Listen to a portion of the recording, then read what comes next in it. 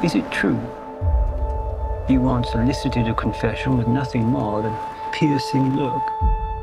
With enough patience, a suspect will often interrogate himself.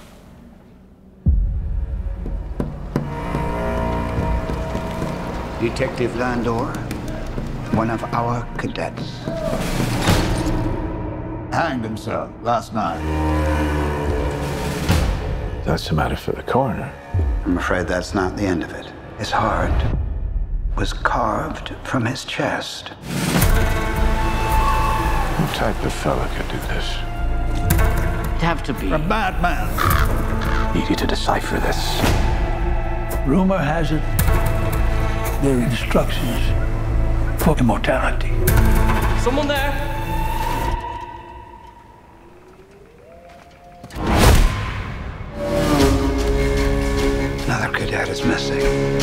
Poe, I need you to discreetly infiltrate the cadets. What is this? Blood, symbols, rituals. Oh, my lord.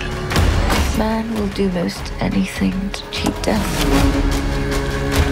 Where are the facts? Where are the simple facts? The truth! I believe the dead haunt us because we love them too little.